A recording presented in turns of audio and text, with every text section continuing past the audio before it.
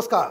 Capital TV में आपका स्वागत है। आज हम एक ऐसे कानून के बारे में डिस्कस कर रहे हैं, जिसे आप कह सकते हैं कि हिंदुस्तान का सबसे खतरनाक कानून है।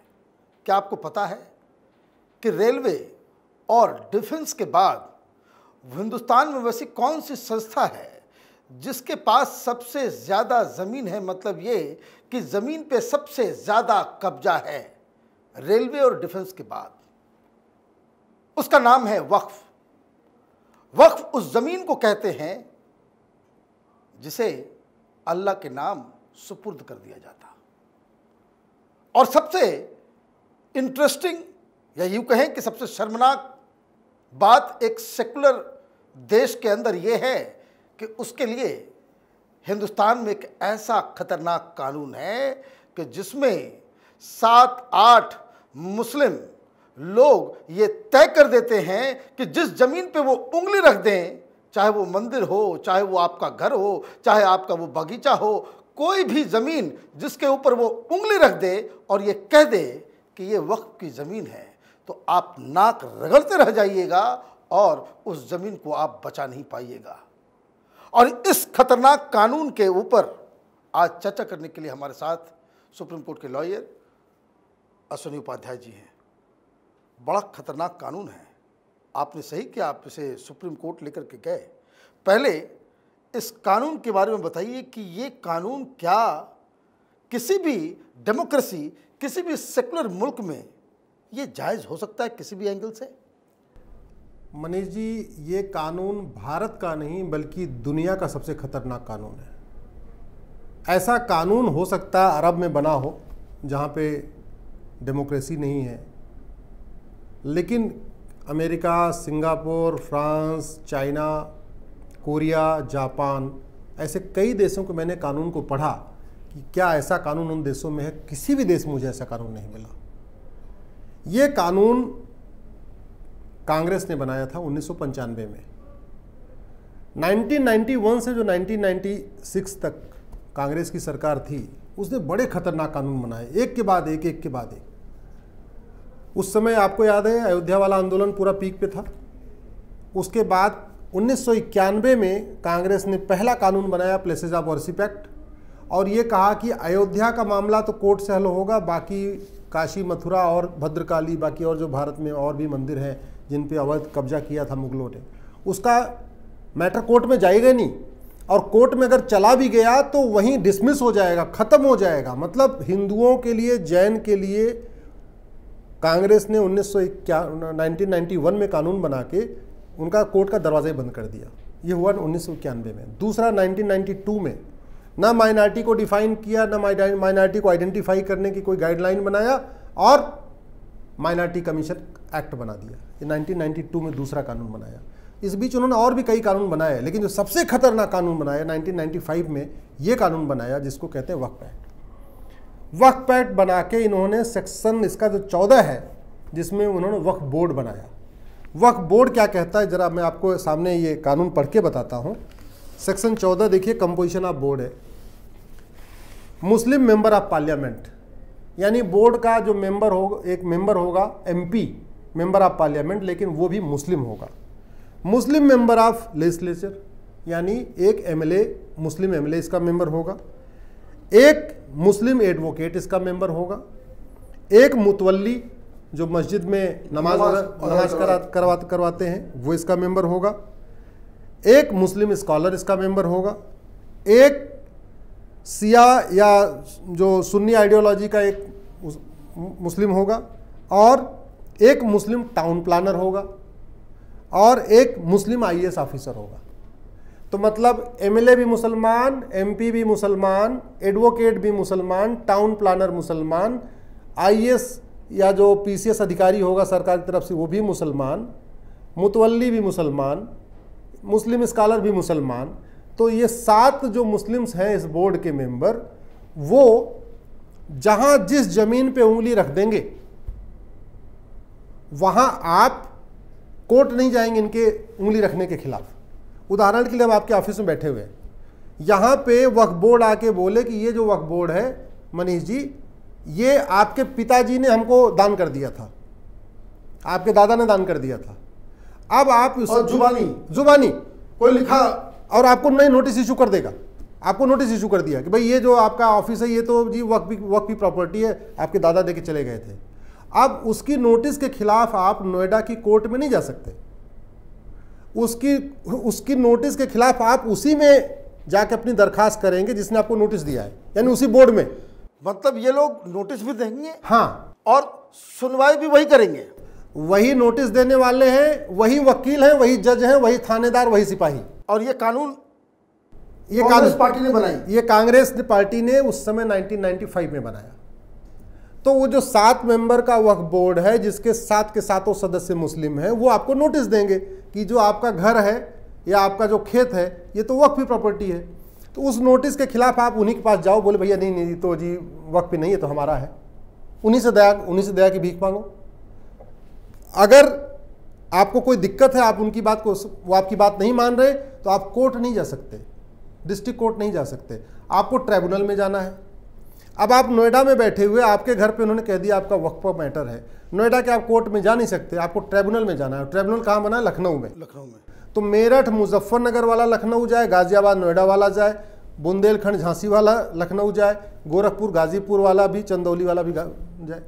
अपनी ज़मीन बचाने के लिए मुझे जो मेरी ज़मीन है मुझे बगल के कोर्ट में जाने नहीं दिया जा रहा है। मुझे 500 किलोमीटर की यात्रा कराई जा रही है और सिंपल एक बिना किसी अच्छा उसको ये भी कारण बताना भी नहीं है कि हाँ कोई हमारे पास कागज़ है कुछ कुछ नहीं बस सिंपल कहना भाई ये ज़मीन हमारी है ख़त्म बात होगी ये सिचुएशन है। तो ऐसे ऐसी व्यवस्था में तो जो गरीब पंडित होगा पुजारी होगा किसी मंदिर का हो तो किसी मंदिर के ऊपर भी कह देंगे कि भाई ये वक्फ का है।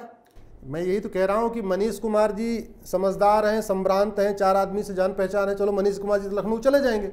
वो बेचारा नोएडा का बैठा हुआ एक गरीब मंदिर में जिसको दो चार सौ रुपये दक्षिणा मिलती है और ज़्यादा उसको कानून का ज्ञान नहीं, उसको बारीकियाँ नहीं पता, उसका लखनऊ में कोई जानने वाला नहीं पता, लखनऊ में किसको जाके पकड़े, कुछ नहीं पता।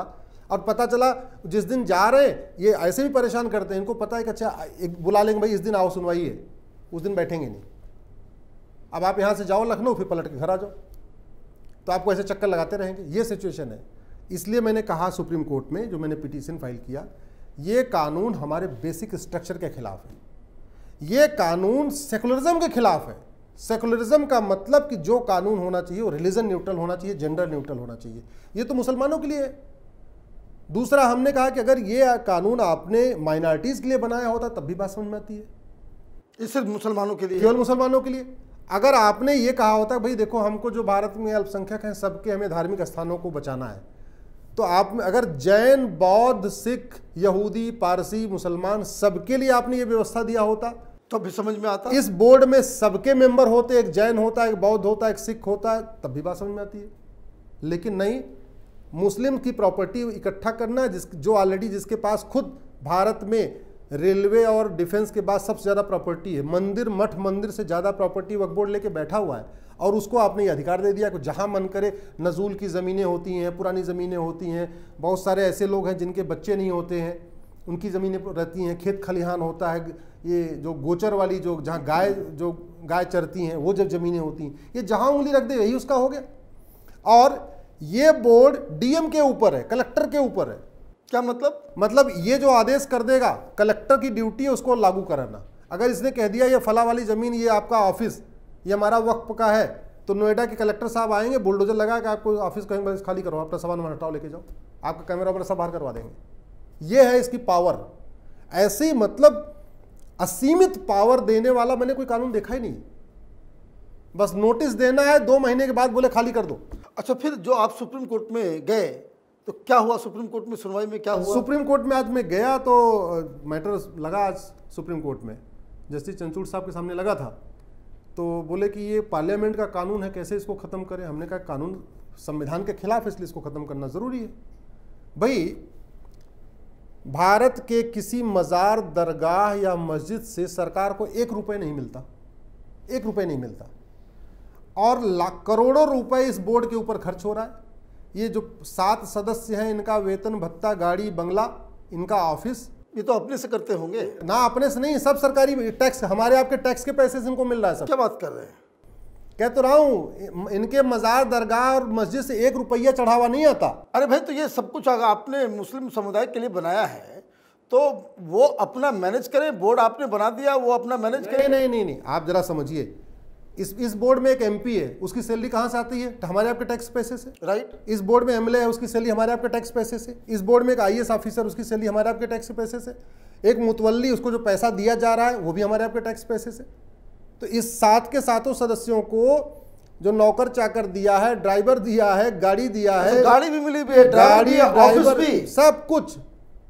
वो हमारे आपके टैक्स से एयर का टिकट ट्रेन का टिकट जो कुछ उनको मिल रहा है बाकायदा उनको एक मंत्री वाली सुविधा मिली हुई है। ये तो ये तो सरासर अन्याय है कि आप देखिए मैंने हिंदू मंदिरों से लाखों करोड़ों रुपए सरकार लेती है और ठेंगा थमा देती है हिंदुओं को। चार लाख मैंने तो इस पिटीशन में लिखा हुआ है इस शॉर्ट नोट में भी लिखा है। चार लाख मठ मंदिरों को सरकार ने अपने कब्जे में लिया है चार लाख। और 2019 में एक लाख करोड़ रुपए सरकार ने लिया था मठ मंदिरों से। 2020 में लॉकडाउन हो गया तो नहीं मिला। 2021 में भी काफ़ी लॉकडाउन रहा। 2020 का भी आंकड़ा आया नहीं है। लेकिन 2019 में सरकार ने चार लाख मठ मंदिरों से एक लाख करोड़ रुपए लिया। सरकार का मतलब केंद्र सरकार नहीं सब मिला सब मिला राज्य सरकार है सब मिला के। तो मैंने इस पिटीशन में कहा कि जहाँ सरकार मठ मंदिरों से चार लाख एक लाख करोड़ ले रही है उसके लिए कोई ऐसी व्यवस्था बनाए तो बात समझ में आती है। मुस्लिम्स के लिए वक्फ बोर्ड बनाया जहाँ की मस्जिद मजार दरगाह से एक रुपए नहीं आता। तो ये बात समझ में नहीं आ रही है। और वैसे भी फिर अलग अलग क्यों बनाना? भाई, एक आप कानून बना दो यूनिफॉर्म इंडाउमेंट कोड एक कानून आप बना दो कि जो सबके हमारा जो दान होता है, भाई, वक्फ और दान में अंतर क्या है? हिंदू भी फिक्स्ड और मूवेबल से दान करते हैं, पैसा दान करते हैं, सोना चांदी दान करते हैं, ज़मीन दान करते हैं, कुछ लोग कार दान करते हैं। नहीं, सब दान करते ही हैं। वैसे ये भी दान करते हैं। इनका दान कोई नया दान नहीं है। ये खुदा के नाम पे दान की दान करते हैं, हिंदू, भगवान के नाम पे दान करते हैं। कोई भगवान के नाम पे एक बीघे ज़मीन दे देता है कोई दो बीघे ज़मीन दे देता है कोई जो है कमरा बनवाता है कोई पैसा देता है सब सो, कोई सोना चढ़ाता है चांदी चढ़ाता है। तो सिस्टम तो वही है। तो फिर ये वक्फ के लिए अलग से कानून क्यों? हिंदुओं के लिए ऐसा कानून क्यों नहीं? जैन के ऐसा लिए ऐसा कानून क्यों नहीं? बौद्ध के लिए ऐसा कानून क्यों नहीं? क्रिश्चियंस के लिए ऐसा भी कानून क्यों नहीं? पारसी के लिए ऐसा कानून क्यों? केवल मुस्लिम के लिए ऐसा कानून? और ये सरकार का काम है कि भाई मुसलमानों की ज़मीन क्या हो नहीं हो उसके लिए आप कानून बनाएँगे? सबसे बड़ी तकलीफ़ की यही बात है कि इतना मतलब सरकार पार्लियामेंट हो या विधानसभा कानून जो भी बनाए जो मैंने अपनी पिटीशन में बार बार सुप्रीम कोर्ट से और आज मैंने बहस के दौरान भी कहा था कानून जेंडर न्यूट्रल रिलीजन न्यूट्रल होना चाहिए। बिल्कुल होना चाहिए। Equality before law equal protection of law. मैंने इसमें पिटीशन में लिखा कि जब संविधान का आर्टिकल 14 कह रहा है कि इस भारत में इक्वलिटी बिफोर लॉ है सब कानून की छतरी सबके लिए एक है। आर्टिकल 15 कह रहा है कि आप धर्म के आधार पर भेदभाव नहीं करोगे। आर्टिकल 16 कहता है सबको समान अवसर दोगे। आर्टिकल 21 कहता है सबको समान राइट टू लाइफ लिबर्टी है। आर्टिकल 25 कहता है सबको समान धार्मिक अधिकार है। तो ये एक पर्टिकुलर के लिए क्यों? मतलब ये हुआ कि अगर हिंदू और जैन के बीच में कोई धार्मिक विवाद है, किसी ज़मीन का तो वो तो कोर्ट में चलेगा। आप इसको समझिए। हिंदू बौद्ध के बीच में कोई धार्मिक विवाद कोर्ट में चलेगा। हिंदू क्रिश्चियन के बीच में धार्मिक विवाद कोर्ट में चलेगा। लेकिन अगर मुस्लिम हिंदू के बीच में विवाद होगा तो इस बोर्ड इस बोर्ड में जाएगा। मुस्लिम जैन के बीच में कोई विवाद होगा तो इस बोर्ड में जाएगा। एक अगर एक पार्टी मुस्लिम है तो दूसरी पार्टी कोई भी हो उसके लिए कोर्ट का दरवाज़ा बंद। वो सीधे सब वक्त बोर्ड में जाएगा। सबको इधर वक्त बोर्ड में आना पड़ेगा। सबसे पहले वक्त बोर्ड में हाजिरी देनी है सात लोगों को अपना सलाम ठोकना है जो सात लोग इधर बैठे हैं वक्त बोर्ड में उसके बाद उनके आदेश को आपको फॉलो करना है। और उनके पास इतनी पावर है तो वो एस डी एम डी को आदेश दे देंगे इनका घर खाली करा लो इनका दुकान खाली कराओ इनकी ज़मीन ज़मीन खाली कराओ ये सब वक्त बोर्ड मतलब इस देश में मनमानी चल रही है क्या चल रहा है समझ में नहीं आ रहा। इससे ये ये मुझे बताइए कि ये सरकार मैंने आप कानून के नज़रों में अगर सब बराबर है अगर कोई धर्म के नाम पे कोई अपार्थिड हिंदुस्तान में नहीं है तो ये स्पेशल प्रिविलेज देने का काम क्यों? देखिए भारत में तीन कोर्ट है। तीन तरीके जो संविधान में है। एक सुप्रीम कोर्ट पूरे देश के लिए हाई कोर्ट उस राज्य के लिए फिर डिस्ट्रिक्ट कोर्ट उस ज़िले के लिए। ये सिस्टम है। और सिविल प्रोसीजर कोड में बहुत साफ़ साफ़ लिखा हुआ है कॉन्स्टिट्यूशन में बहुत साफ़ साफ़ लिखा हुआ है कि सिविल डिस्प्यूट जहाँ पे शुरू होगा वो उसी ज़िले में जाएगा। इस कानून ने उसकी भी धज्जियाँ उड़ा दिया। ये कानून कह रहा है सिविल डिस्प्यूट शुरू होगा ज़मीन का नोएडा में लेकिन मुकदमा चलेगा लखनऊ में। लखनऊ में। ट्रिब्यूनल जहाँ बैठा हुआ है बोर्ड जहाँ बैठा हुआ है। क्योंकि बोर्ड हर ज़िले में तो नहीं बैठा हुआ है। वो तो वहाँ बैठा हुआ जाके। तो इसने सिविल प्रोसीजर कोड की भी धज्जिया उड़ा दिया और उस संविधान में जहाँ साफ़ साफ़ लिखा हुआ है कि सिविल ओरिजिनल कंडीशन में जहाँ पे शुरू होगा, वहीं उसका सूट चलेगा। जैसे अयोध्या का सूट है तो अयोध्या में चलेगा, काशी का सूट है काशी में चलेगा। लेकिन करे, नहीं नहीं नहीं, ये तो आपको ट्रिब्यूनल में लाना पड़ेगा। जो पहले जहाँ चल रहे हैं वो तो चल गए, लेकिन अब जो नए शुरू होंगे, वो आपको ट्रिब्यूनल में लाना पड़ेगा। बहुत बहुत आपने चौंकाने वाली जानकारी दी। और आपको बहुत बहुत मुबारकबाद आपने इस तरह के मुद्दे को उठाया। और अब ये मसला कोर्ट में है। देखिए, कोर्ट में क्या होता है, उसके लिए तमाम दर्शकों की तरफ़ से भी आपको बधाई कि आप इस तरह से संघर्ष आगे करते रहें। लेकिन बड़ा सवाल ये है कि आखिर ऐसा क्या है कांग्रेस पार्टी के डीएनए में कि 1991 और 1995 के बीच ये तमाम इस तरह के डिस्क्रिमिनेटरी लॉज बाकायदा देश के ऊपर थोपा गया? उसकी वजह बहुत ही सिंपल है। Muslim vote bank, Babri structure, वो जो था, उसके गिरने के बाद मुसलमानों और कट्टरपंथियों के ऊपर जिस तरह का दबाव कांग्रेस पार्टी और सरकार के ऊपर पड़ा, आपने एक के बाद एक अनर्गल कानून बनाना शुरू कर दिया कि ताकि मुस्लिम नाराज़ ना हो जाए। मुस्लिमों को खुश करने के लिए आपने संविधान के बेसिक स्ट्रक्चर्स को ही जिसको कह सकते हैं कि ताक पे रख के आपने इस देश की राजनीति को पल्यूट करने की कोशिश की है। समय बदल रहा है।